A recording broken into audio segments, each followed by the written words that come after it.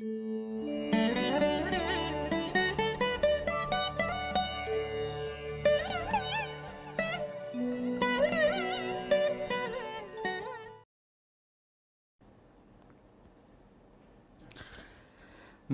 அனைவருக்கும் இனிய மாலை வணக்கங்கள். வாழ்த்துக்கள். எல்லோரும் நன்றாக இருப்பீர்கள்.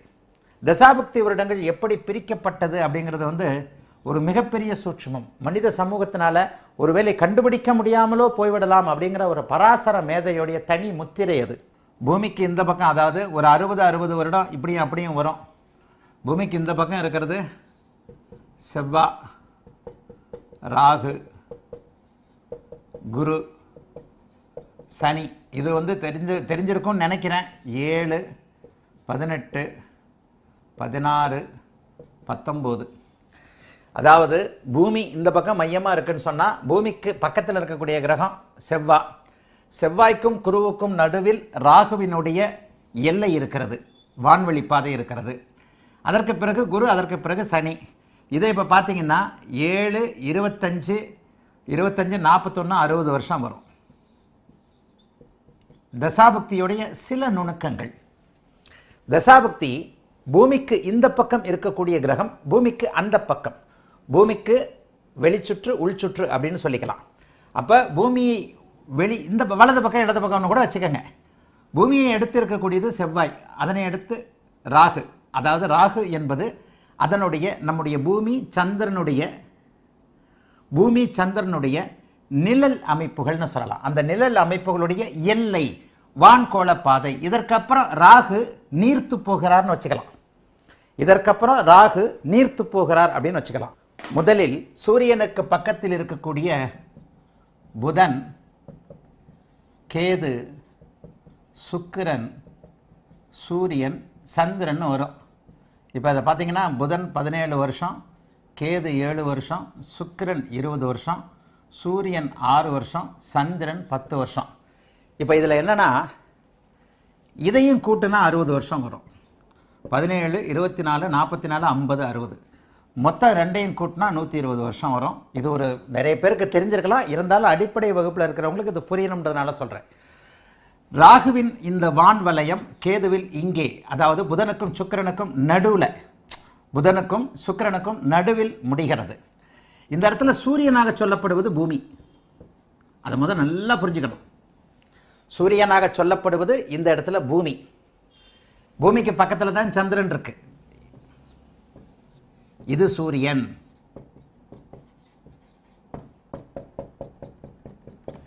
தசாபக்தி சூட்சுமங்கள்.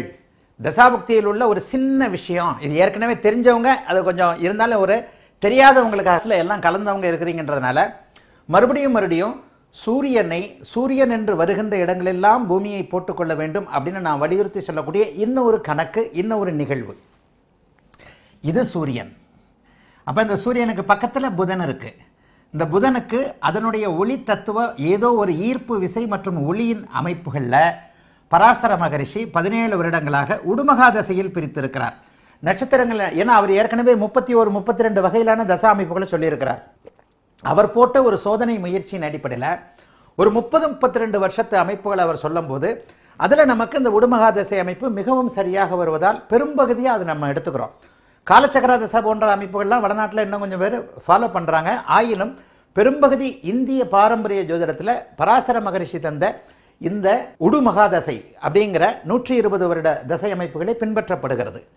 சூரியன் இங்கே இருக்க புதன் பதினேழு வருடம் ராகு கேதுக்களுடைய வான்வெளி வளையம் புதனுக்கும் சுக்கிரனுக்கும் நடுவில் கேதுவின் இருள் நீர்த்து போகிறது அதனுடைய வான்கோள பாதை. செவ்வாய்க்கும் குருவிற்கும் நடுவில் ராகுவின் இருள் நீர்த்து போகிறது அதனுடைய பாதையுடைய எல்லை அது. ஆக புதனுக்கு பதினேழு கேதுவிற்கு ஏழு சுக்கிரனுக்கு இருபது சூரியன் ஆறு என்பது இங்கே நம்முடைய பூமியை குறிப்பதால். ஏன்னா பூமிக்கு பக்கத்தில் தான் சந்திரன் இருக்கு. நல்லா புரிஞ்சுக்கணும். இந்த இடத்துல தான் சில நேரத்தில் எல்லாத்தையும் நம்ம கண்டுபிடிச்சிட முடியாது. இந்த இடத்துல ஏதோ ஒன்று இருக்கு. ஒரு சின்ன கல் பாதையை மறைச்சிக்கிட்டு இருக்கு. குகையை மறைச்சிக்கிட்டு இருக்கு. இந்த கல் மட்டும் விலகிடுச்சுன்னா இந்த பூமிக்கும் சூரியனுக்கும் உள்ள ஒரு கனெக்டை யோசிச்சுக்கிட்டே இருந்து வந்துருச்சுன்னா யோசனைகள் இப்போது தெரியாத்தனமாக கமர்ஷியல் ஜோசியனாக வந்துட்டேன். அதுவும் கடவுளுடைய விருப்பம். இந்த பதிமூன்று வருடங்களாக நான் கமர்ஷியல் ஜோதிடனாக எழுத எழுதாமல் பத்திரிகை உலகத்திற்கு தெரியாமல் வழக்கம் போல குடத்துக்குள்ளேயே இருந்தவனாக இருந்திருந்தால் ஒருவேளை இன்னும் சில சூட்சுமங்கள் எனக்கு வந்திருக்கலாம். நம்முடைய எண்ணங்கள் தசை மாறி போச்சு டைவர்ட் ஆகி போச்சு. வேஸ்ட் இந்த பூமிக்கு பதிலாக இங்கே சூரியனாக போட்டுக்கொள்ளுங்கள். சூரியனுக்கு இங்கே ஆறு தசாவருடங்கள் ஒதுக்கப்பட்டிருக்கின்றன. இந்த தசாவருடங்கள் ஒதுக்கப்பட்டது அத்தனையுமே ஏதோ சூரியனுடைய நிலையில் ஒளி பிரதிபலிப்பும் இவர்களுடைய ஈர்ப்பு விசையும் கலந்ததாக இருக்கலாம். இவ்வளோதான் இப்போ சொல்ல முடியுது. இப்போ நம்ம இந்த நோக்கம் என்னன்னா பூமிக்கு உட்சுற்று கிரகங்கள் பூமிக்கும் சூரியனுக்கும் நடுவே இருக்கக்கூடிய இந்த அமைப்புகளுக்கு அறுபது வருடமும் பூமிக்கும் சனிக்கும் இடையே சூரிய அதாவது சூரிய மண்டல எல்லைக்கும் இடையே இருக்கக்கூடிய செவ்வாய் ராகு குரு சனிக்கு அறுபது வருடமும் கொடுக்கப்பட்டிருக்கின்றன.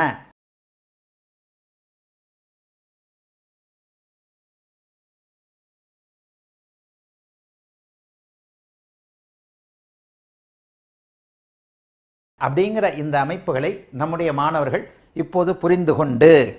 சரி அடுத்து. பார்த்துக்கப்பீங்க நினைக்கிறேன்? அழிச்சிட்றேன்.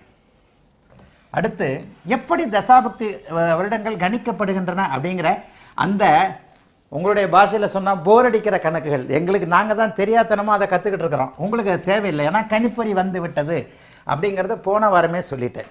கணிப்பொறி வந்து விட்டதுன்றதை போன வாரமே சொல்லிட்டேன். ஜனனகால உடுமகாதசை இருப்புன்னு போடுவோம். ஜனன கால உடுமகாதசை இருப்பு. உடுமகாதசை இருப்பு. நான்கு வருடம் மூன்று மாதம் பன்னிரெண்டு நாள்னு போடுறது உண்டுங்க. இது நம்ம மாணவர்கள் எல்லோருக்கும் தெரியும். இது எப்படி கணிக்கப்படுகிறது அப்படிங்கிறத நீங்கள் நெட்டில் போய் பார்த்துங்க. இப்போ நான் என்ன சொல்ல வரேன்னா சுமாராக ஒரு நட்சத்திரம் இருபத்தி நான்கு நாட்கள் இருக்கின்றன. போன வாரம் இலக்கம் விளக்கினேன் அதை லேசாக இப்போ கோடு காட்டிடுறேன். சுமாராக சுமாராக ஒரு நட்சத்திரம். சுமாராக ஒரு நட்சத்திரம் இருபத்தி நான்கு மணி நேரம்.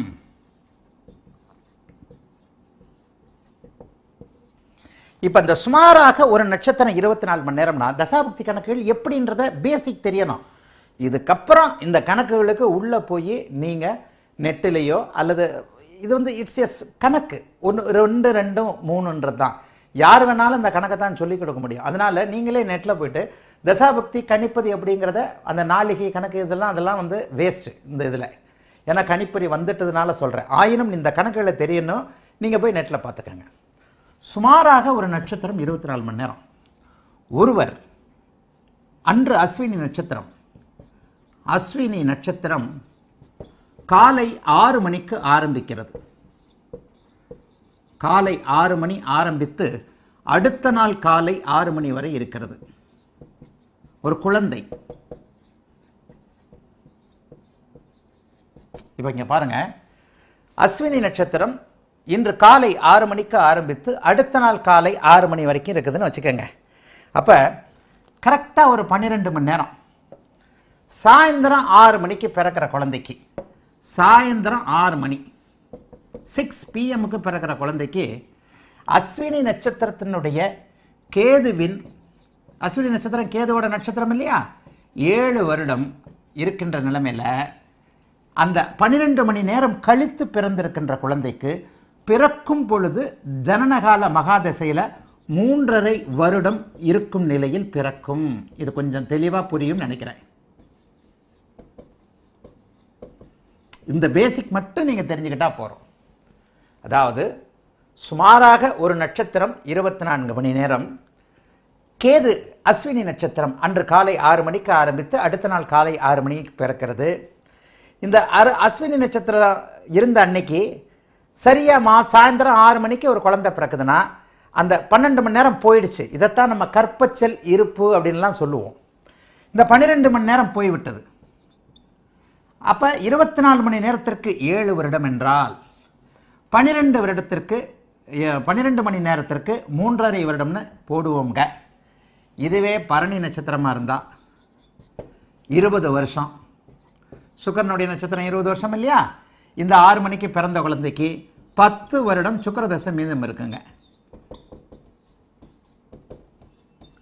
பத்து வருடம் சுக்கரதசை மீதம் இருக்கும். தயவு செய்து இந்த ஒரு இது மட்டும்.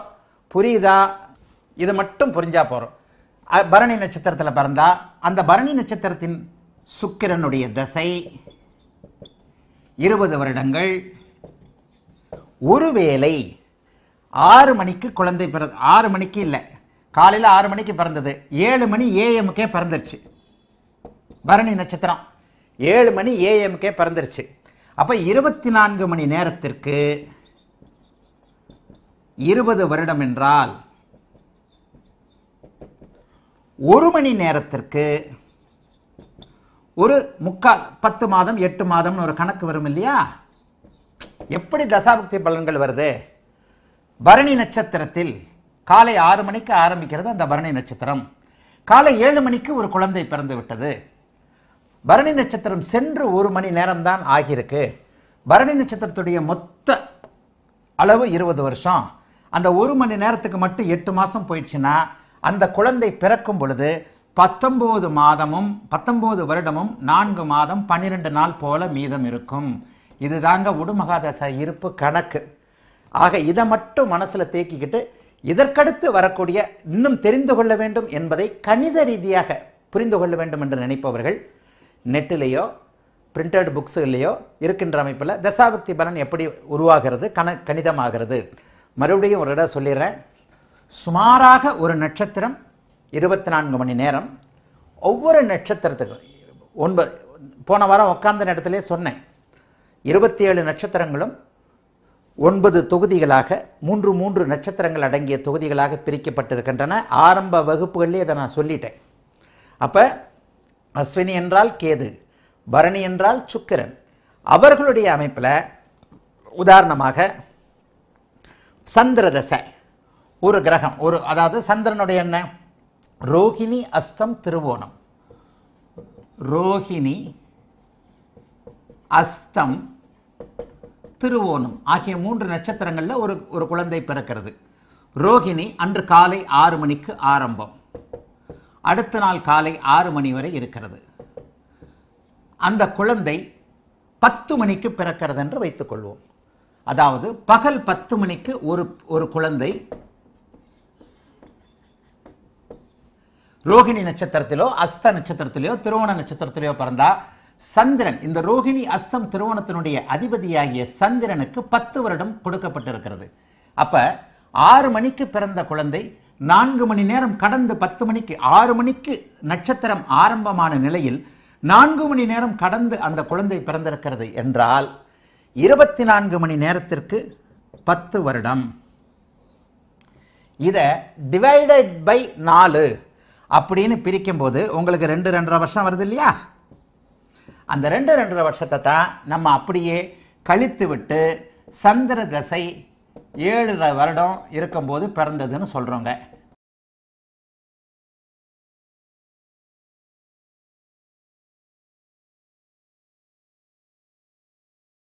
மேஷ லக்னம். இந்த மேஷ லக்னத்திற்கு பேசிக்லேருந்து தான் வரேன். தசாபக்தி அமைப்புகள் அப்படிங்கிறது ஒரு ஜாதகத்தில் தலை தலை மூளை கை கால்.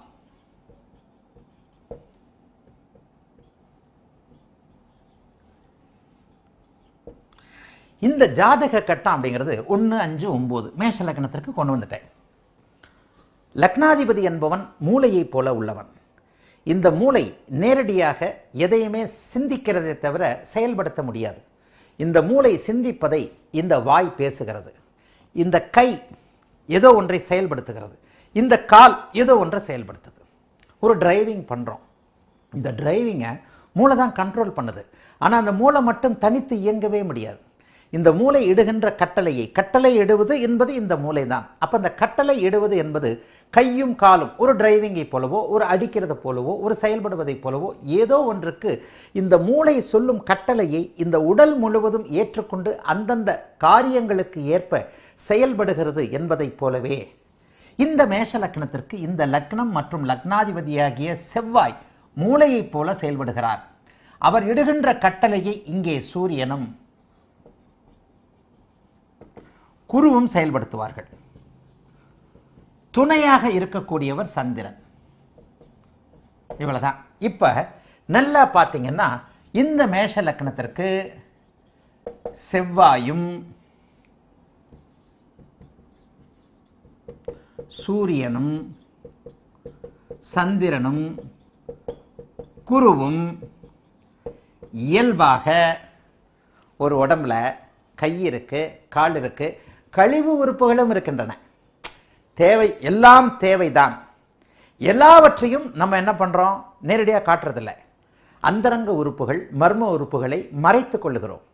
கழிவு உறுப்புகள் நம்மை அறியாமலேயே அது மறைவான ஒரு பகுதியில் இருக்கின்றன. ஆக இதை போலத்தான் இந்த பனிரெண்டு வீடம் நமக்கு தேவை.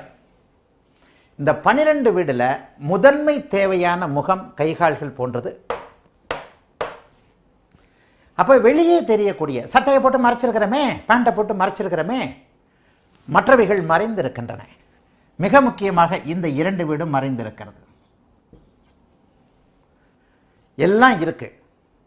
முகத்தை தான் முகத்தை வச்சு தான் நான் வந்து அந்த ஜோதிடத்தில் முதலில் எதை பார்க்க வேண்டும் அப்படின்ற போது ஒருவரை பார்க்கும்போது முகத்தை பார்த்து தான் பேசுகிறோம்னு சொல்லியிருந்தேன். நாலு வருஷத்துக்கு முன்னாடி போட்ட வீடியோவில் ஒருத்தரை பார்க்கும்போது எங்கேயுமே இப்போது அகோரமூர்த்தியை பார்க்கிறேன். கீதா வெங்கட்டை பார்க்குறேன். பவிஷ்யமாக இருக்குது பாலாஜியை பார்க்குறேன். நான் பாலாஜியோடைய முழங்காலையோ முழங்கையவோ நான் பார்க்குறதில்ல. முகத்தை தான் பார்க்குறேன். அகோரமூர்த்தியை முகத்தை பார்த்து பேசுகிறேன். ஆகவே நமக்கு முகம் அந்த முகத்திற்குள் அடங்கி இருக்கின்ற முகத்தை சொந்தம் கொண்டாடுகின்ற தலையும் மூளையும் பிரதானம். லக்னம் பிரதானம். இந்த ஒவ்வொரு லக்னத்திற்கும் ஒவ்வொரு லக்னாதிபதி பிரதானம் என்பதை புரிந்து கொண்டு அந்த லக்னாதிபதி இடுகின்ற கட்டளைகளை மிக சரியாக செயல்படுத்தக்கூடிய அந்த ஐந்து ஒன்பதாம் அதிபதிகளை புரிந்து கொண்டு இப்போ ஏன் இதை கொண்டு வந்தேன்? ஏற்கனவே ஒரு ஹிண்ட் கொடுத்துட்டேன். லக்னாதிபதி என்பவன் தசாநாதனை விட வலிமையானவன்.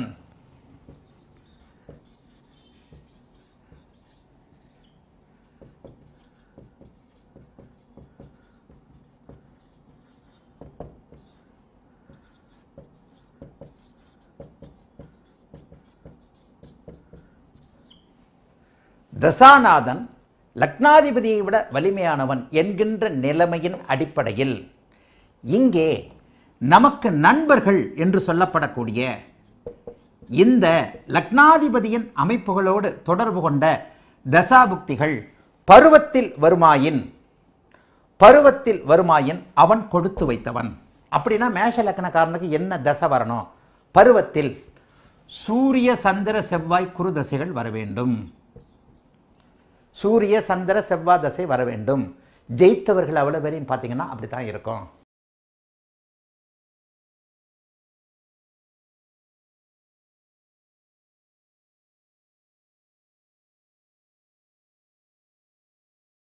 சரி இந்த லக்னாதிபதிக்கு கழிவானவர்கள் இந்த லக்னா இந்த இடத்துக்கு இந்த உடம்புக்கு தேவையில்லாதவங்க யார்? கழிவு. மறைத்து கொள்ளப்படக்கூடிய பகுதிகள் யார்? ஆறு எட்டு இல்லையா? புதன். இங்கே செவ்வாய். ஆயினும் ஒவ்வொரு லக்னத்திற்கும் விதிவிலக்குகள் உண்டு அப்படிங்கிறத நான் சொல்கிறேன் இல்லையா? அப்போ புதன். இந்த புதன் அதிகமான ஒரு மறைத்து கொள்ளக்கூடியவராக இருப்பார். அதே நேரத்தில் இன்னொரு டீம் சொல்லியிருக்கிறேன் இல்லையா? குரு சுக்கர அணி என்று. குரு சுக்கர அணி. இந்த குரு சுக்கர அணியில் ரெண்டு விதமாக சொல்லி கொடுத்தேன். எப்படி சொல்லி கொடுத்தேன்? சூரியன் சந்திரன் செவ்வாய் குரு நண்பர்கள். சுக்கிர அணியில் சுக்கிரன் புதன் சனி நண்பர்கள். ராகுவும் கேதுவும் இருக்கும் இடத்தை செயல் பொறுத்து செயல்படுவார்கள் என்கின்ற நிலையில் இந்த லக்னத்திற்கு இந்த லக்னத்திற்கு எதிர்த்தன்மை கொண்ட கிரகமான சுக்கிரனும் மறைவான தேவையற்றதான புதனும் பாதகங்களை ஒரு நிலையில் தரக்கூடிய இவர்கள் இருவரை நேசித்து இவரை வெறுக்கக்கூடிய சனியும் அவயோகர்கள் என்கின்ற நிலையில் மேஷ லக்னத்தில் பிறந்தவனுக்கு பருவத்தில் புதன் சுக்கிரன் சனி அதாவது சனி புதன் சுக்கிரன் ஆகிய மூன்று தசைகள் பருவத்தில் வருமாயின் அவர் எத்தகைய யோக ஜாதகத்தை கொண்டவராக இருந்தாலும் கூட அவரால் அவர் குறிப்பிட்ட இலக்கை அடைய முடியாமல் போகக்கூடிய ஜாதகம். சரி இவைகளை மாற்றுவது சுபத்துவ பாவத்துவம். இந்த மேஷ லக்கணக்காரர்களுக்கு இங்கே இந்த மேஷ லக்கணக்காரர்களுக்கு சூரியன் செவ்வாய் சந்திரன் குரு போன்றவர்கள் எப்படிப்பட்ட ஒரு சூழ்நிலையிலும் அப்ப எப்படிப்பட்ட ஒரு சூழ்நிலையிலும் அப்படின்னு பார்த்தீங்கன்னா அவர்களுக்கு எந்த நிலைமையில வரணும்? ஒரு மேஷ லக்கணக்காரனுக்கு எந்த மாதிரியான தசாபக்திகள் வரணும்? ஒரு பருவத்தில் சுக்கர தசை வந்துருச்சு. அல்லது அவன் கேது திசையில் பிறந்திருக்கிறான். கேது திசையில் பிறந்த ஒருவனுக்கு கேது திசை மேஷ லக்கணத்திற்கு கேது ஒரு மூன்று வருடம். சுக்கிரன் இருபத்தி மூன்று வருடம். இதனையடுத்து இருபத்தி மூன்று வயதிலிருந்து ஆறு வருடம் சூரிய தசை. பத்து வருடம் சந்திர தசை. செவ்வாய் தசை ஏழு வருடம். இதனை அடுத்து ராகு ஒரு பதினெட்டு வருஷம். இந்த ராகு இப்போ நான் சொன்னது சூரியன் சந்திரன் செவ்வாய் இந்த ராகு இடையில் வர்ற ராகு இந்த மேஷ லக்கணக்காரர்களுக்கு சூரிய சந்திர செவ்வாய் குருவின் வீடுகளில் இந்த நால்வருடைய வீடுகள் இருந்தால் இப்போ நான் என்ன சொன்னேன் மேஷ லக்கணக்காரர்களுக்கு சூரியன் சந்திரன் செவ்வாய் குரு இவர்கள் நால்வரும் நண்பர்கள் என்பதால் பருவ வயதில் ஒரு அனுபவிக்க வேண்டிய வயதில் அவர்களுக்கு இந்த நால்வருடைய தசைகள் வரும் பொழுது அவர்களுக்கு கூடுமான வரை பலவீனமாக ஆகியிருந்தாலும் கூட அவர்கள் பெரிய அளவில் குழியில் தள்ள மாட்டார்கள்.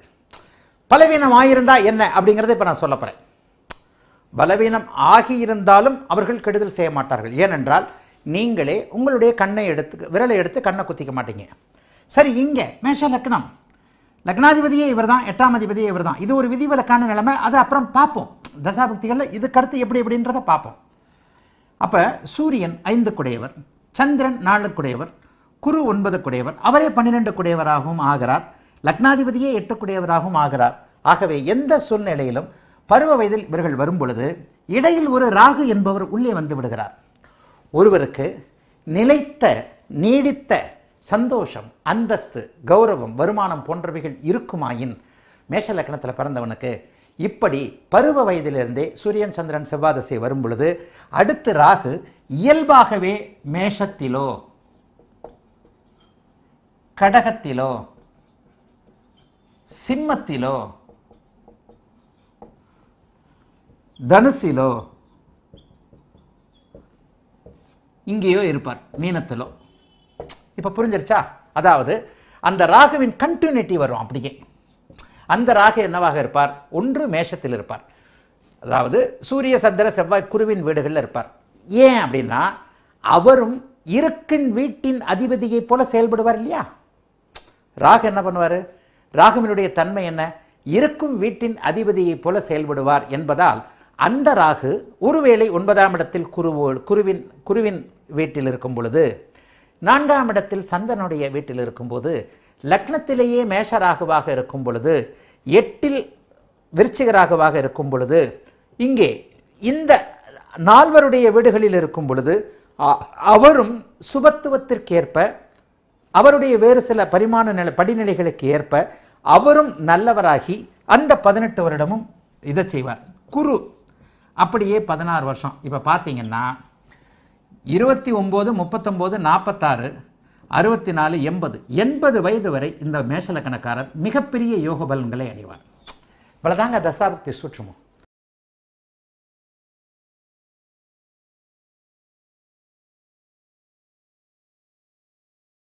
தசாபக்திக்கு சுபத்துவம் மிக முக்கியம்.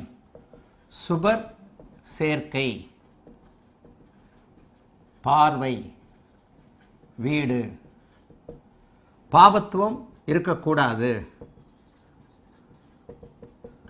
பாபர் சேர்க்கை பார்வை வீடு கலப்பு. சுப பாபத்துவம். கலப்பாக இருந்தா பலன் ஐம்பது சதவிகிதம். சூட்சும வலு பிளஸ் சுபத்துவம் எண்பது சதவிகிதம். இவ்வளவுதாங்க. சுபத்துவம் ஒரு கிரகம் சுபத்துவமாக இருக்கிறது. சரி இந்த சுபத்துவத்தில் சூரியன் சந்திரன் செவ்வாய் ராகு குரு இந்த ஐவரும் மேஷத்திற்கு வேண்டப்பட்டவர்கள். மேஷத்தின் நண்பர்கள் ஃப்ரெண்ட்ஸ் இந்த ஐவரும் சுபத்துவமாக இருக்கும் பொழுது இந்த சுபத்துவம் அந்த தசைகளில் நூறு சதவிகிதம் நன்மையை தருகிறது. சுபத்துவத்திற்கு ஏற்ப நூறு எண்பது அறுபதுன்னு வச்சுக்கோங்க. இதே நண்பர்கள் ஐவரும் பாபத்துவமாக இருக்கிறார்கள். இதே நண்பர்கள் மேஷத்தின் நண்பர்கள் சூரியன் சந்திரன் செவ்வாய் நிபந்தனைகளுக்கு உட்பட்ட ராகு குரு பாபத்துவமாக இருக்கிறார்கள். இந்த பாபத்துவமான தசைகள் ஜீரோவிலிருந்து இதை இப்படி சொல்ல வேண்டாம். இந்த பாபத்துவமான திசைகள் நூறு சதவிகிதம் கடுமையான கெடுபலன்களையும் கெட்டவை பேடு இந்த சூரியன் சந்திரன் செவ்வாய் ராகு குரு போன்றவை பாபத்துவம் என்று சொல்லப்படக்கூடிய பாபர் சேர்க்கை பாபர் பார்வை பாபர் வீடுகளில் இருக்கும் பொழுது நூறு சதவீதம் எண்பது சதவீதம் அறுபது சதவீதம் கெட்ட பலன்களை செய்கிறாங்க சுவரோடு சேர்ந்து சுவர் வீடு சுவர் பார்வை சுவர் வீடுகளில் இருக்கின்ற சுபத்துவம் கிடைக்கும் போது நல்லவைகளையும் பாபரோடு சேர்ந்து பாபத்துவம் அடைகிற போது கெட்டவைகளையும் சுப பாப கல ஆபத்து ஏற்பட்டிருக்கும் பொழுது ஐம்பது சதவிகித நன்மை ஐம்பது சதவிகித தீமை. இவைகள் இரண்டையும் செய்கிறார்கள்.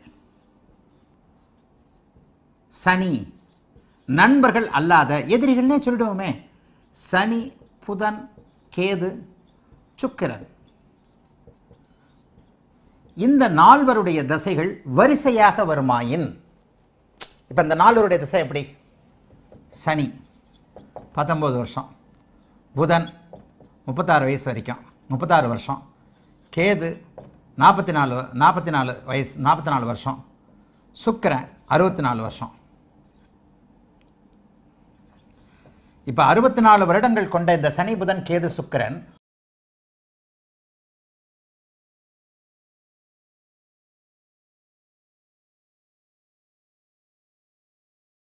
ஒரு மனிதன் குருதசையிலே பிறந்துட்டார்.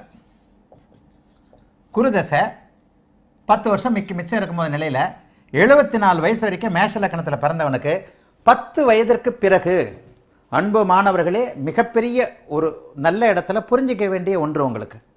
மேஷ லக்கணத்தில் பிறந்தவர். அவர் மேஷ லக்கணத்தில் எங்கே பிறந்திருக்கிறாரு? மீனராசியில் பிறந்திருக்கிறான்னு வச்சுக்குவோம். புரட்டாதி நட்சத்திரத்தில் பிறந்திருக்கிறான்னு வச்சுக்குவோம். ஒரு மேஷ லக்கணத்தில் பிறந்திருக்கிறார்.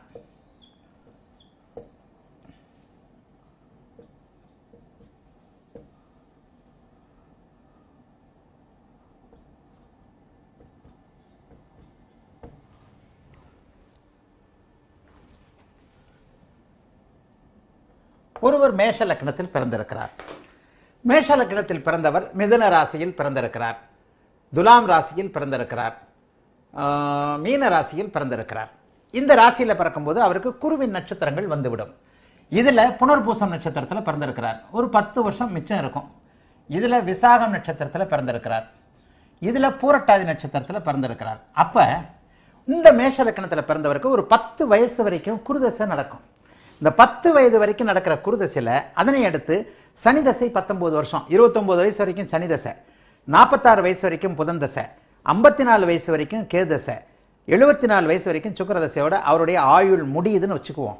அப்போ இந்த சனி புதன் கேது சுக்கரதசைகள் வரும் பொழுது அவருக்கு ஜாதகம் எத்தகைய யோகமாக இருந்தாலும் இந்த சனி புதன் கேது சுக்கரதசைகள் வரும் பொழுது அவர் முயற்சியின் பேரில் மட்டுமே அனைத்தையும் அடைபவராக இருப்பார் அதிர்ஷ்டத்தின் அமைப்பினால் அல்ல. இந்த மேஷம் மட்டும் எல்லாத்துக்குமே இது அப்படியே இப்போ நான் சொல்கிறது ஒவ்வொரு லக்னத்துக்கும் ஒவ்வொரு மாதிரியா சொல்லுவேன். இப்போது மேஷ லக்னத்தில் பிறந்தவர் ஒருவர். அவர் குருவின் நட்சத்திரத்தில் பிறந்து சனியின் நட்சத்திரத்தில் பிறந்து அல்லது இந்த அவக அவயோகர்களுடைய தசை மிக முக்கியமான காலகட்டங்களில் வரும் பொழுது அவருக்கு ஜாதகத்தின் அடிப்படையிலாக முயற்சிகள் அதிகம் தேவைப்படுகின்ற அமைப்பு கண்டிப்பாக இருக்கும். அப்படியானால் இந்த சனி புதன் கேது சுக்கிரன் போன்றவர்கள் சுபத்துவமாக இருக்கும் பொழுது இதற்கடுத்து நான் ஸ்தான பலம்னு வந்துடுவேன் உயர்நிலை வகுப்புகளின் ஆரம்பம். இதனை அடுத்து இவர்கள் ஸ்தான பலம் திக்பலம். அதாவது ஷட்பலத்தின் அத்தனை முக்கிய அமைப்புகள் திருக்பலம். ஆக அந்த ஷட்பலத்தின் அமைப்புகளில் இந்த மேஷ லக்கணத்தில் பிறந்தவருக்கு சனி எங்கு இருக்கிறார் புதன் எங்கு இருக்கிறார் கேது எங்கு இருக்கிறார் சுக்கிரன் எங்கு இருக்கிறார் என்பதன் என்பதன் அடிப்படையில் இவர்கள் ஸ்தானபலத்தோடு இருக்கிறார்களா? நான் சொல்லுகின்ற சூட்சும வலுவோடு இருக்கிறார்களா? சுபத்துவமாக இருக்கிறார்களா? பாபத்துவமாக இருக்கிறார்களா? ஒருவேளை இந்த சனி இந்த புதன் இந்த கேது இந்த சுக்கிரன் சுபத்துவமாக இருந்தால் லக்னாதிபதியின் வலுவிற்கேற்ப அந்த ஜாதகத்தின் வலுவிற்கேற்ப லக்னாதிபதியின் வலுவிற்கேற்ப அந்த ஜாதகத்தின் வலுவிற்கேற்ப இந்த சனி புதன் கேது சுக்கிர தசைகள் சுபத்துவமாக இருப்பின் அந்த மனிதருக்கு நூறு சதவிகிதமோ எண்பது சதவீதமோ அறுபது சதவீதமோ யோகத்தை தருகின்றன.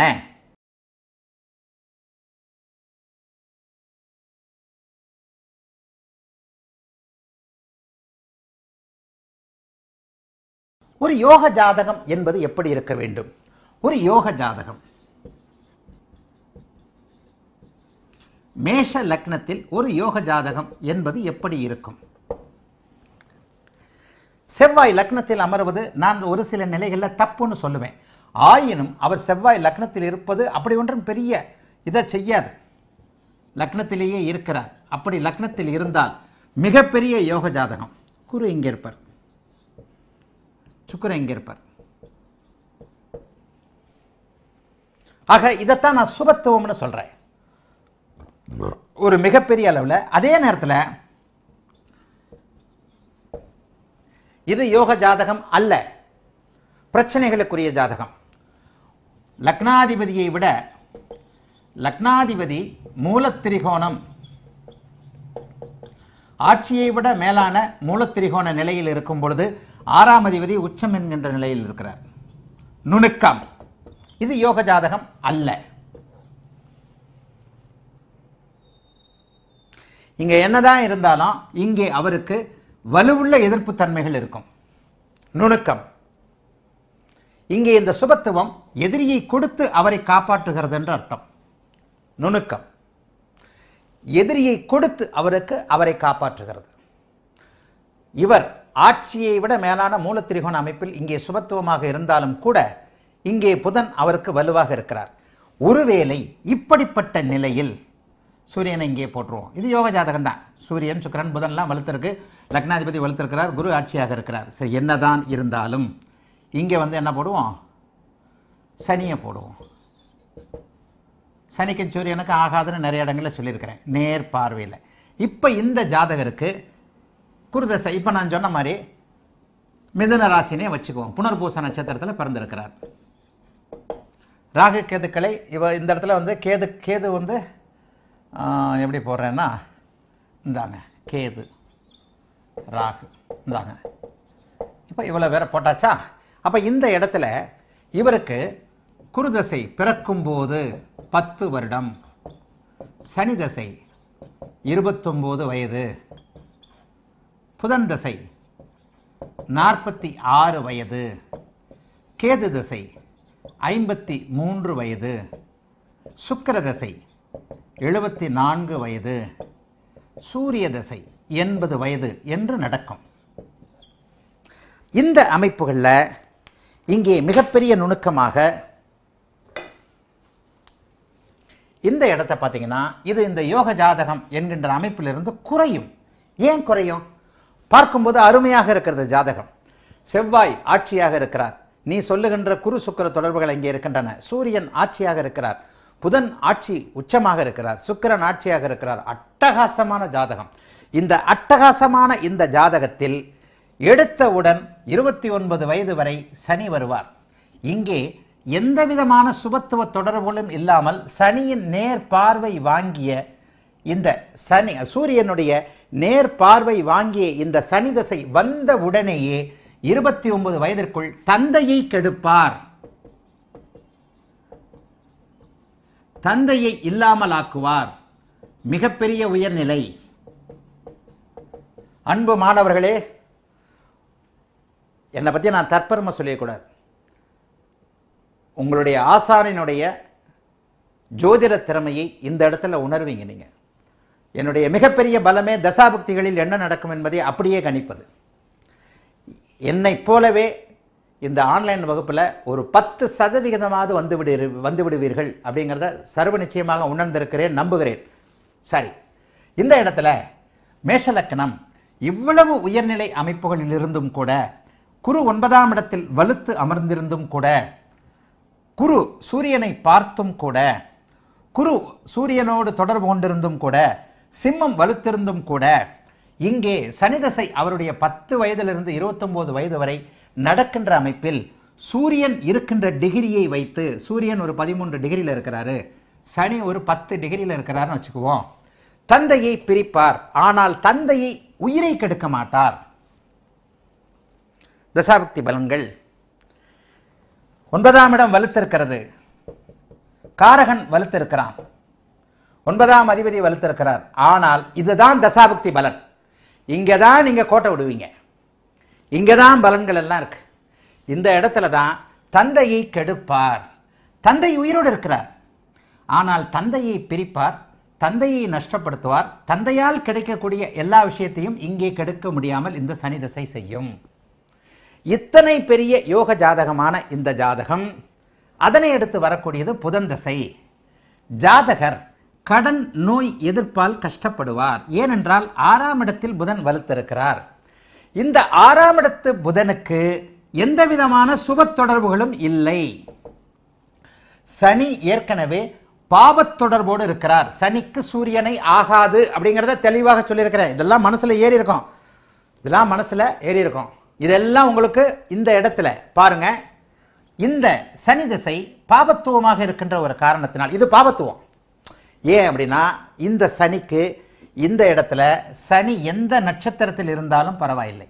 எல்லா நட்சத்திரம் சார் அடிப்படையில் இந்த இடத்துல சனி செயல்படவே செயல்பட மாட்டார். இந்த இடத்துல மூன்று நட்சத்திரங்கள் இருக்கின்றன. அவிட்டம் சதயம் பூரட்டாதி. ஒரு அளவில் குருவின் நட்சத்திரத்தில் அந்த சனி இருந்தாலும் கூட குருவின் நட்சத்திரத்தில் இருந்தாலும் கூட இந்த சனி வயதிற்கேற்ற வகையில்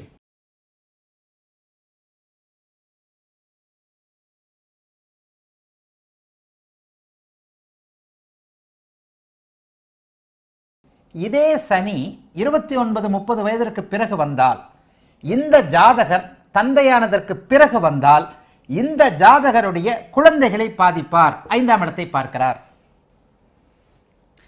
இந்த ஜாதகர் தந்தையாவதற்கு முன்பு வந்தால் இவருடைய தந்தையை பார் பாதிப்பார். சூரியனை பாதிக்கிறார் சிம்மத்தை பாதிக்கிறார். அவ்வளவுதாங்க ஜோசியம். இவ்வளவுதான் ஜோசியம். இவ்வளவுதான் தசாபக்தி. மேஷ லக்னம் சனி தசை இருபத்தொம்போது வயது வரைக்கும் வருது. இதில் உள்ள நட்சத்திரம்லாம் ரெண்டாவது. அதெல்லாம் பார்க்க வேண்டாம். காரகங்கள். ஒன்பதாம் அதிபதி வலுவாக இருக்கிறார். சூரியன் வலுவாக இருக்கிறார். தந்தை உண்டு. சரி என்ன பாதிப்பு? லக்னத்தை பாதிப்பார். ஐந்தாம் பாவகத்தையும் சூரியனையும் பாதிப்பார். எட்டாம் பாவகத்தை பாதிப்பார். இந்த எட்டாம் பாவகத்தை பாதி பார்வையின் அடிப்படையில் பாதிப்பார். பார்வையின் அடிப்படைகளில் பாதிப்பார். சரி பாதித்தாலும் தந்தை இருப்பார். ஏன்? குரு இங்கே ஆட்சியாக இருப்பதால் ஒரு நிலையில் இந்த இடத்துல குரு எட்டில் மறைந்து ராகுவோடு இருக்கிறார். சூரியன் நீச்சமாக இருக்கிறார். சனி தசை வந்துவிட்டது. தந்தை இல்லை இறந்து விட்டார். தந்தை இல்லை இறந்து விட்டார். அன்பு மாணவர்களே ஏற்கனவே தந்தை இழந்திருக்கிற ஜாதகத்தோடு ஒப்பிட்டு பாருங்கள். உங்களுடைய குருவை பற்றி நீங்கள் அதிசயப்படுவீங்க. திமிராவே சொல்லுவேன் சில நேரங்களில். அவ்வளவு அற்புதமான ஒரு விஞ்ஞான சாஸ்திரம். இங்கே எதுவுமே இந்த பக்கம் அந்த பக்கம். Calculations calculations calculations combinations combinations combinations அப்ப இந்த இடத்துல எடுத்துக்கொண்ட ஒன்றை மட்டும் பார்ப்போம். குரு இருக்கிறார்னு சொல்லிட்டேன். வலிமையோட இருக்கிறார்னே சொல்லிட்டேன். முதல்ல அதை பார்ப்போம். அடுத்தது பாபத்துவத்தை பார்ப்போம். அப்ப இங்கே சனி திசை தந்தையாகி இருந்தால் நாற்பது வயதுகளில் வந்தால் அவருடைய மகனையும் குழந்தைகளையும் ஐந்தாம் பாவகத்தை பார்க்கிறார். ஐந்தாம் அதிபதியை பார்க்கிறார். எங்கே காரகத்துவத்தை எங்கே ஆதிபத்தியத்தை பொருத்தி பார்ப்பது அப்படிங்கிற அமைப்பு தசாபக்திகளில் வந்துவிட வேண்டும். இது ஐந்தாம் வீடு. புத்திர ஸ்தானாதிபதியின் வீடு. புத்திர ஸ்தானாதிபதி ஆதிபத்தியம். பிதுர்காரகன் ஆக ஒரு சேர சனி திசையில் காரகமும் பாதிக்கப்படும் ஆதிபத்தியமும் பாதிக்கப்படும் என்கின்ற நிலையில் சனி தசை எப் எந்த வயதில் எப்படி வருகிறது என்பதை வைத்து நீங்கள் துல்லியமாக குழந்தை பாதிக்கப்படுவாரா தக தந்தை பாதிக்கப்படுவாரா குழந்தையும் தந்தையும் பாதிக்கப்படுவாரா? சனி தசை சூரிய புக்தியில் தந்தை. பிரிவு இழப்பு துயரம். இவ்வளோதாங்க ஜோசியம். சின்ன விஷயங்க. புரிஞ்சுக்கிட்டா? இவ்வளோதான் ஜோசியம். சின்ன சின்ன விஷயங்கள். அப்போ இதனை அடுத்து கேது தசை இது புதன் தசைன்னு வந்துட்டோம். நாற்பத்தாறு வயசு வரைக்கும் மிக முக்கியமான காலகட்டம். என்ன நடக்கிறது? ஜாதகர் கடன் நோய் எதிர்ப்பு போன்றவைகளால் தொல்லைகளை அனுபவிக்கப் போகிறார். முக்கியமாக கடன். ஆனால் என்ன நடக்கிறது? ஜாதகர் கடன் தொல்லையால் ஊரை விட்டு ஓடிவிட மாட்டார். ஏன் ஓட மாட்டார் லக்னாதிபதி வலுத்திருக்கிறார். ஜாதகர் சமாளித்துக் கொண்டிருக்கிறார். ஒருவேளை லக்னாதிபதி நீச்சம் ராகுவோடு சேர்க்கை. ஜாதகர் படுத்த படுக்கையாகிவிட்டார் கடன் நோய் தொல்லையால். ஜாதகர் ஊரை விட்டு ஓடிவிட்டார். ஜாதகரால் எதிரிகளை சமாளிக்க முடியவில்லை. தசாபக்தி இதே ஜாதகம்தான். இதே ஜாதகம்.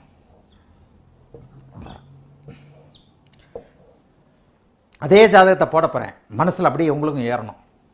அதே ஜாதகம் தான் ஜாதகத்தை ஆனால் ராசி மாறும் இல்லையா? இதே ஜாதகம் தான் ராசி மட்டும் மாறும். அப்போ தான் தசாபக்தி மாறும்.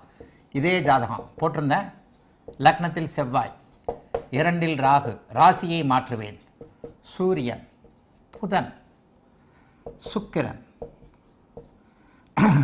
கேது குரு சனி. இப்போ இந்த இடத்துல நம்ம என்ன பண்ணணும்னா புதன் தசை இறுதின்னு வச்சுக்கலாம். புதன் தசை இறுதி. அப்போ இந்த இடத்துல என்ன வச்சுக்கலாம்? புதன் தசையில் இறுதியில் பிறந்திருக்கிறார் அப்படின்னு சொன்னால் கேது சுக்கிர தசை வந்துடும் புதன் தசை இறுதினா ஒரு ரேவதி நாலாம் பாதனே வச்சுக்கோமே. புதன். மூன்று வருடம். கேது. ஏழு பத்து வயசு. சுக்கிரன் முப்பது வயசு. சூரியன் முப்பத்தாறு. சந்திரன் நாற்பத்தாறு செவ்வாய் ஐம்பத்தி மூணு ராகு எழுபத்தி ஒன்று குரு எண்பத்தி ஏழு. இவ்வளோதாங்க இதே ஜாதகர். அதே ஜாதகம் வேறு எதுவும் மாறலை. இங்கேயும் சுபத்துவ பாபத்துவத்தை கொண்டு வந்துருவேன். புதன் மூன்று வருஷம் சந்திர அதியோகத்தில் தான் இருக்கிறார். குழந்தையில் அவருக்கு சிறு சிறு நோய்கள் வந்தன. அன்பு மாணவர்களே இது போன்ற அமைப்பில் புதன் தசை மூணு வருஷம். ஒரு குழந்தை ஒரு ஒரு முப்பது வயசு பையன் ஜாதகம் வருது. ஒரு அம்மா அப்பா ஜாதகம் கேட்குறாங்க நான் மூணு வயசு வரைக்கும் ஆஸ்பத்திரிக்கும் எதுவுமா பிள்ளைய தூக்கிட்டு அலைஞ்சிங்களான்னு கேளுங்க. அப்படியே ஒரு மாதிரி சிரித்து போவாங்க. ஜோதிடம். மேஷ லக்னம் ஆறாம் அதிபதி புதன். அப்படியே வந்து இந்த இந்த சந்திர அதியோகத்திலேயே அவர் இருக்கிறார். கை குழந்தையில் ஒரு மூணு வயசு வரைக்கும் ஒருத்தர் மாற்றி இப்படிலாம் நான் கேட்டிருக்கேன்.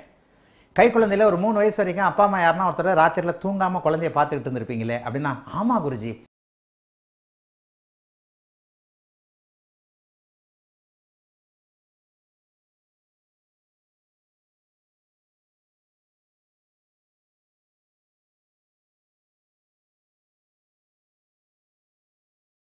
மூணு வயசு வரைக்கும் படாத பாடு படுத்திட்டான் என்னன்னே சொல்ல முடியல. மூணு வயசுக்கு பிறகு தான் ஆள் நல்லானான்னுவாங்க. அவ்வளோதாங்க ஜோசியம். இந்த நபருக்கு எப்பொழுதெல்லாம் புதன் புக்தி வருகிறதோ எப்பொழுதெல்லாம் புதன் புக்தி வருகிறதோ ஏன்னா நம்ம புதன் தசை வராது. முடிஞ்சிருது. எப்பொழுதெல்லாம் புதன் புக்தி வருகிறதோ கேது திசையில் புதன் புக்தி நெகட்டிவ் சுக்கிர திசையில் புதன் புக்தி கொஞ்சம் நெகட்டிவ் இது கம்ப்ளீட் நெகட்டிவ் ஏன்னா ஆறு எட்டு. எட்டில் தசாநாதன் ஆறாம் அதிபதி. வருதே. பலன்கள் அப்படியே துள்ளிக்கிட்டு வருதே. இவ்வளோதான் ஜோசியம். இதுக்கு மேலே வேற ஒன்றுமே இல்லையே. கேது தசை புதன் பக்தி. பத்து வயசுக்குள்ளே முடிஞ்சிருச்சு. கேது தசை புதன் பக்தியில் என்னையா நடந்ததுன்னு அவங்க அப்பா அம்மாட்ட கேளுங்க. அப்போ தான் சைக்கிளில் விழுந்து அடிபட்டான். அப்போ தான் ஒரு ஒரு ஒரு டைஃபாய்டு ஜுரத்தில் போய் விழுந்துக்கிட்டான். டைஃபாய்டு ஜலத்தில் விழுந்து பிழைக்கிற பிழைச்சானா இல்லையான்னு ஆகிப்போச்சு குருஜி அந்த வருஷம். கன்ஃபார்ம் பண்ணிக்கோங்க. இவ்வளோதாங்க ஜோசியம். சுக்கரதசை கடைசியில் புதன் பக்தி வருது. அந்த அந்த லைஃப் செட்டில் ஆகிறதுக்கு முன்னாடி அப்படியே முப்பது வயது வரைக்கும். சரி சுக்கரதசை என்ன கொடுக்கும்? ஐயா இப்போ தான் ஒருத்தர் கேட்டீரே. சுக்கிரதசை லக்னத்தை பார்க்கிறார். ஏழாம் அதிபதியாக இருக்கிறார். இந்த இடத்துல சுக்கிரதசை ராகு பக்தியில் மாரகம் இருக்காது. ஆனால் சுக்கரதசை ராகு பக்தியில் ஏதேனும் ஒரு நிலையில் மாரகத்திற்கு சமமான சில துன்பங்கள் இருந்திருக்கும். எந்த வயசில்? முப்பது வயசுக்குள்ளேயே. சுகரதசை புதன் பக்தி வரைக்கும் லைஃப் செட்டில் ஆகாது. சுகரதசை கேது பக்தியிலிருந்து ஒரு மாதிரியான மாற்றங்கள் ஏற்பட்டு. இங்கே சூரிய தசை முப்பத்தாறு வயசுல.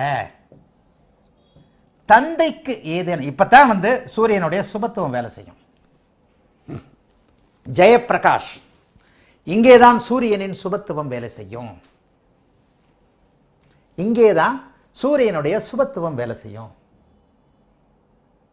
இந்த இடத்துல தான் அவர் சூரியன் முப்பத்தி முப்பது வயதிற்கு பிறகு சூரிய தசை ஆரம்பித்தவனையே இந்த ஜாதகர் தந்தையாவார் தந்தையால் விரயத்தை மட்டும் அணிவிப்பார் இவர் அப்பாவாவார். இவருடைய அப்பாவனால சனி குரு குரு ரெண்டு பேருடைய பார்வை அவர் தான் குருவால் அவர் அங்கே ஐந்தாம் அதிபதி இவர் தந்தையாகிறார். இவருக்கு குழந்தைகள் பிறக்கும். ஆண் குழந்தை பிறக்கும். சனியின் பார்வையால் இவருடைய தந்தையால் இவருக்கு விரயங்கள் இருக்கும். ஆதிபத்தியத்தை கொடுத்து காரகத்துவத்தை கெடுப்பார். ஆக இந்த இடத்துல சூரிய திசை முப்பத்தாறு வருஷம். இந்த சூரிய திசை முப்பத்தி ஆறு வருஷம் அவருக்கு தந்தையாக இருக்கக்கூடிய அமைப்பு தந்தையால் சில சங்கடங்கள் மற்றபடி அதிர்ஷ்டம் செயல்படக்கூடிய தன்மை. ஏன்னா ஐந்தாம் இடம் இல்லையா? ஐந்தாம் அதிபதி ஐந்தாம் இடத்தில் இருக்கிறார். இவருக்கு ஐந்தாம் இடம் செயல்படுகிறது. அதிர்ஷ்டம் செயல்படுகிறது. அந்தஸ்து கௌரவம் செயல்படுகிறது. தலைமை பொறுப்பு கிடைக்கிறது. மேனேஜர் ஆகிறார். அரசு வேலை கிடைக்கிறது. அரசு வேலை. தலைமை. அதிர்ஷ்டம். நல்ல சிந்தனை நல்ல யோகங்கள் எல்லா பலன்களும் இப்போது இங்கே கிடைக்கின்றன. இந்த அரசு வேலையில் கூட சர்வீஸ் ஓரியன்ட் வேலை தான் கிடைக்குது. சனி சுபத்துவம் இல்லாத சிம்மத்தை பார்க்கிறார். இவர் கலெக்டர் இல்லை. ஆனால் இவர் நம்ம சத்தியமூர்த்தி மாதிரி விஏஓ மக்கள் தொடர்பு பணி கிடைக்கிறது. இபியில் வேலையாக இருக்கிறாரு. பனிரெண்டில் மறைந்திருந்தாலும் பாதகமில்லை ஒளிச்சந்திரனாக இருக்கிறார். இவர் செவ்வாய் சனியுடைய நடுவில் இருந்தாலும் கூட நேரடியான தொடர்புகள் பாபகர்த்தாரி யோகம்னு சொல்லுவேன். இந்த இடத்துல டிகிரி பார்த்தோம்னோம் இந்த பாபகர்த்தாரி சுபகர்த்தாரி யோகங்கள் ஒரு நிலையில் உண்மை. நம்முடைய சுபத்துவத்தை அதிலிருந்து தான் கொஞ்சம் எக்ஸ்டெண்டும் கூட பண்ணுறேன் நான். சனிக்கும் செவ்வாய்க்கும் சந்திரனுக்கும் எவ்வளோ டிகிரின்றதை பார்த்துடணும். செவ்வாய் இங்கே இருக்கிறது சந்திரமங்கல யோகம் தான். சனி இருக்கிறது இந்த பாபகர்த்தார் யோகம். எப்- எவ்வளத்தை என் மைண்டு ஓடுது தெரியுதா? தசாபக்தி அமைப்புகள்னு வரும்போது எவ்வளோத்த கவனிக்கிறேன்னு தெரியுதா? இது ஒரு உதாரண ஜாதகம் தான். உண்மை ஜாதகம் இல்லை. ஒரு உதாரண ஜாதகத்திற்கே இத்தனை விளக்கம் கொடுத்து உங்களுக்கு சொல்லக்கூடிய நான் ஒரு உண்மை ஜாதகத்திற்கு எத்தனை என் மைண்டு ஓடும்? இவ்வளோதாங்க ஜோசியம். இன்வால்மெண்ட் ஈடுபாடு டெடிகேட்டட் கண்டிப்பாக உண்மையை சொல்ல வேண்டும் என்கின்ற அக்கறை. இது இருந்தால் தாங்க ஜோசியம் வரும். ஏமாற்றக்கூடாது சீட்டிங் பண்ணக்கூடாது. சரி. எல்லாத்தையும் தெரிஞ்சுக்கணும். சரி. இந்த இடத்துல சந்திரதசை. பௌர்ணமிக்கு பக்கத்தில் இருக்கிறார். சனி சந்திரனை ஒளியோடு பொருத்திக்கொள். உச்சனுடைய பார்வையில் இருக்கிறார். என்ன இருந்தாலும் இவர் தனிப்புதன். சுபர் சுபரின் வீட்டில் சுபரின் பார்வையில் இருக்கிறார். நான்காம் இடத்தின் நல்ல பலன்களை செய்ய போகிறார். ஜாதகர் சொந்த வீடு வாங்க போகிறார். ஜாதகர் சந்திர திசையில் சொந்த வீடு அமை அமையும். தாயாரால் விரயங்கள் இருக்கும். தாயாரால் விரயங்கள் இருக்கும். தாய்க்கே கண்டம் வரும். தாயின் அமைப்புகளை பொறுத்து. ஏன்னா நாலு குடையவர் பன்னெண்டில் இருக்கிறார். தாயாரால் விரயம் தாயாரின் சொத்துக்கள் விரயம் தாய் கொடுத்த வீட்டை விற்று தான் ஒரு சொந்த வீடு வாங்குகிறார். எவ்வளவு பலன் இருக்கு? தாய் கொடுத்த நிலத்தை விற்று சொந்த வீடு வாங்குகிறார். தாய் சந்திரன் தாய் பன்னெண்டு தாய் விரயம் தாயின் நிலம் விரயம் வீடு வருதல் அவ்வளோதான் ஆதிபத்தியம் காரகத்துவம். ஆதிபத்தியம் காரகத்துவம். அவ்வளோதானே தாயால் விரயம் தாய் கொடுத்தது விரயம் ஆதிபத்தியத்தையும் அவர் தான் கொடுக்கணும் காரகத்தையும் அவர் தான் கொடுக்கணும். ஆக சந்திர தசை சுக்கிர புக்தி வீடு வரப்போகிறது. சஷ்டாஷ்டகமாக இருந்தாலும் சுக்கிரன் ஆட்சியாக இருக்கிறார். சந்திர திசையில் வீடு வாகனம் வாசல். வீடு வாகன வாசல் எல்லாம் கம்ப்ளீட்டாக நிறைவு. நாற்பத்தாறு வயதிற்கு பிறகு வரக்கூடிய செவ்வாய் திசையில் கடுமையான உயர்நிலையில் ஜாதகர் இருக்கிறார் அந்தஸ்தோடு இருக்கிறார். எப்படி போன தடவை கேதுவில் ஓடி போய் படுத்த படுக்க அப்படி இப்படின்னு இருப்பான் இவன் அப்படின்னு சொன்னனோ? அது மாதிரி அதே ஜாதகம் தசாபக்திகள் மட்டும் மாறிவிட்டன. அதே ஜாதகம் வேற எதுவும் மாறல. தசாபக்திகள் மட்டும்தான் மாறி இருக்கு கேது தசை இதே செவ்வாயின் வீட்டில் அமர்ந்த கேது தசை அந்த பருவத்தில் வரும்போது புதனால் பட்ட கஷ்டங்களால் அவன் ஊரை விட்டு ஓடி போக போகிறான். அல்லது கடுமையான வம்பு வழக்கு அசிங்கம் கேவலம் ரெட்டு பில்டிங்குள்ள நில சனியின் பார்வையால் அத்தனையும் இருந்து கொண்டிருந்த இந்த நிலைமை இதே ஜாதகருக்கு செவ்வாய் தசை வரும் பொழுது நாற்பத்தி ஆறு வயசுலேருந்து ஐம்பத்தி மூணு வயசு வரைக்கும் குருவின் பார்வை சனியின் பார்வை ஒன்பது பத்துக்குடைய தர்ம கர்மாதிபதிகளுடைய பார்வை அமைப்புகளை வாங்கிய இந்த குருவின் தசையில் இந்த செவ்வாயின் தசையில் இந்த ஜாதகர் வாழ்வின் செல்வச் செழிப்பு அந்தஸ்து அதிகாரம் நல்ல குடும்பம் நல்ல குழந்தைகள்னு தொட்டது துலங்கக்கூடிய மிகப்பெரிய மேன்மையில் இருப்பார்.